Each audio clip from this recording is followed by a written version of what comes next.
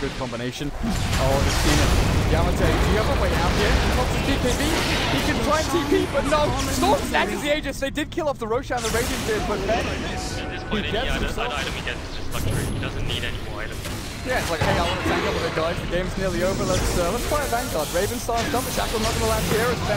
Not gonna get caught in the cooldown. Good tip over the side. BKB up as well. Gnoji tanking through it, although they can't bring him down. He stands at a Black Cannon. He's pretty much got them all. Ben drops, buyback available, 40 seconds, but Echo comes through. 3 4 3 dead with a left track, and that's it. Triple kill for Gnoji. Kang on the front lines. Hook's gun into him. Goes up to the course now. But he's got the Undying with him. Pushed back and looks like he might be able to escape this with the soul if he will. Rocket Barrage through and they've killed off four. Ultra kill for Gnoji. And then maybe he's going to be the Rampage. GG is called before it can even happen. Looking for the trade-off kill on the Dazzle. But TNC, there we go. There we go. Rampage onto your gyro.